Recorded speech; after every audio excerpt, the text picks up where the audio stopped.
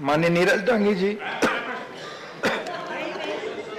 Then I would like to ask the Honorable Minister, I would like to ask the Honorable Minister with your permission, sir, the view of the government on the, on the potential impact on the India-US relations in the light of the rupee-ruble trade oil deal with Russia.